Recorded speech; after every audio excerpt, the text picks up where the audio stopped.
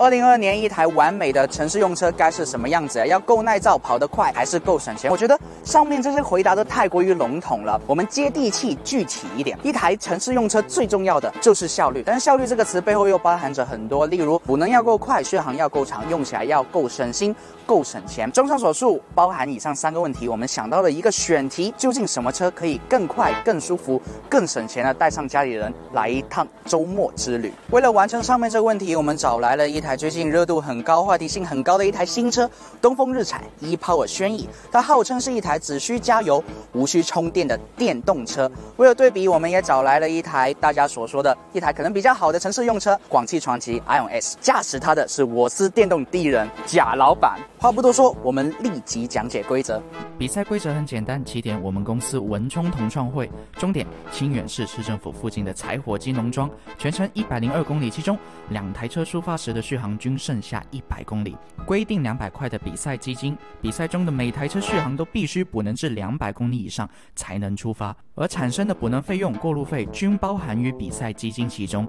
最后以剩下的钱剩余续航和比赛用时折算为分数相加，得分高者。获胜。既然是比赛，就要有奖有罚，输的人要把这次的比赛基金还有午餐的费用全都包了。所以，贾老板准备好了吗？立即开始。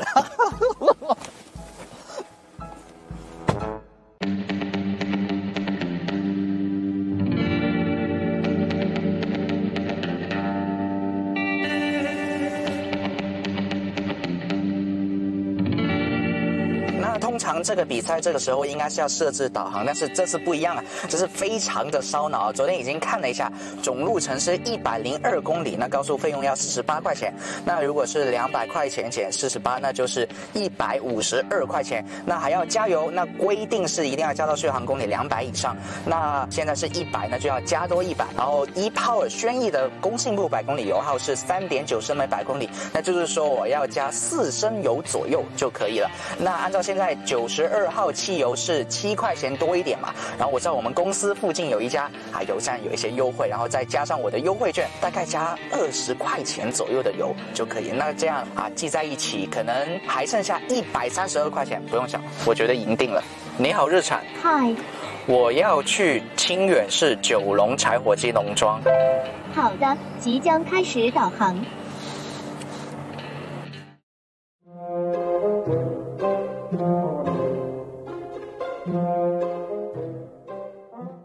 复盘一下战局：起点文冲同创会，终点清远柴火鸡农庄。路线是从广元快速转华南快速转徐广高速，全程一百零二公里。一炮轩逸已经进入广元快速，而 IONS 还是在原点充电。OK，那是时候来跟大家介绍一下这款车型啊。那轩逸大家都很熟悉了，那一炮轩逸有什么不一样的地方？那我们不妨先来了解一下一炮技术的由来。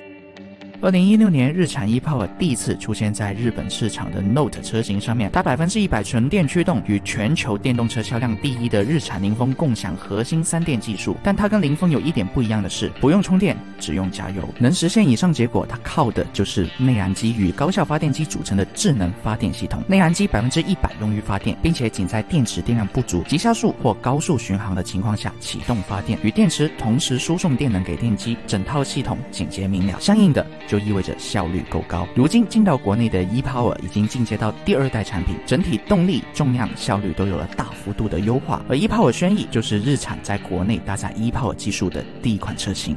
那在实际体验之中，ePower 的优点可以总结为快、顺、劲、省四个字啊。那首先快，那 ePower 轩逸就搭载了高功率的驱动电机，那峰值扭矩达到了三百牛米啊。那零到五十公里每小时的加速仅为三点八秒。那如果单从数据上来看，就我们。今天比赛的两款车型，它们的峰值扭矩都是一样的。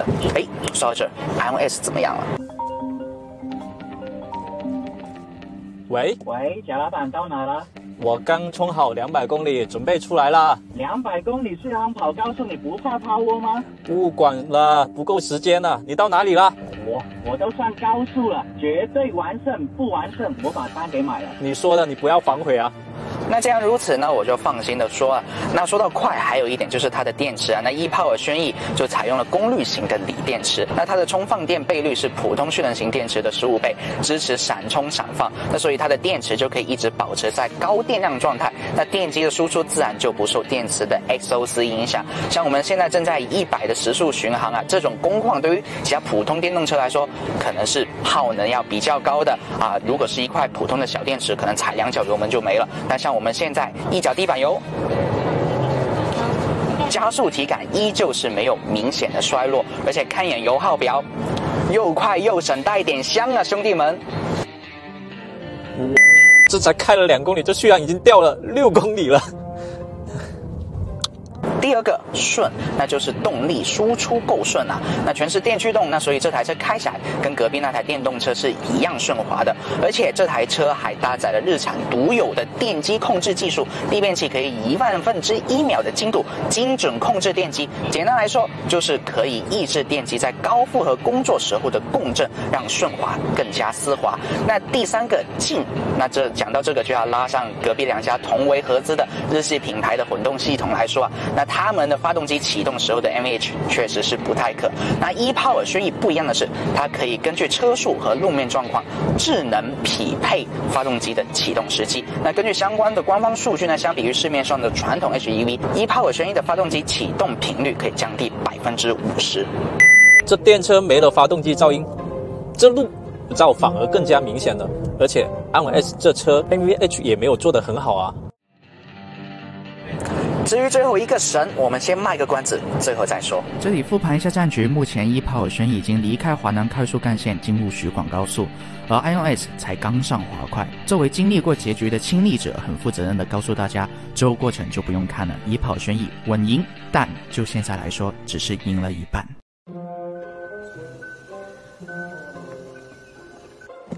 啊！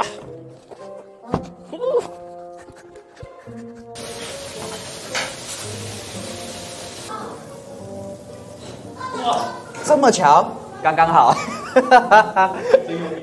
毫无疑问，一炮尔轩逸就获得了最终的胜利，而且是大比幅的优胜啊！然后它的一共总用时是一小时十五分钟零四十八秒，然后呢，相比于 iOS 是快了二十八分钟，所以我们已经在最后的积分榜上面加上了二十八分，然后 iOS 零分。这两台车之间差在哪里，也就很明显的，就是补能的时间。在目前的科技和社会配套设施的水平之下，电动车的补能条件和续航焦虑仍是一大痛点。但在一炮和轩逸上面，完全的电动车驾驶体验，但享受的却是燃油车这样便利的配套，而且还有优于市面上大部分车型的使用成本。像我们今天这种基本全程高速的路线。理论上，对电驱动车型，包括纯电车型，也包括混动车型，对于它们的能耗都是不友好的。但一炮轩逸的平均油耗才四点六升每百公里，这就是一炮轩逸的省，省钱、省时、省心。好了，接下来就是紧张刺激的时候，开始算分数啊。那之前说好了啊，为了照顾老板的情绪，如果这一项比赛，那一项我输了，这餐钱的单都是我来买。然后首先先说续航里程啊，我的续航里程就剩下了九十八公里。贾老板你呢？还好啦，只是 差点要叫拖车而已啊。那这是多少呢？已经不显示续航里程了。哦，那我们就一比一计算分数。那所以我的 ePower 轩逸就是九十八分，那 iOS 依旧是零分。好了，我们接下来就算钱了。我们走的同样都是一同一条高速啊，那高速费同为四十八块钱。然后就要补人的费用了，我加油一共用了二十二块四毛五。贾老板你呢？我充电用了十三块钱，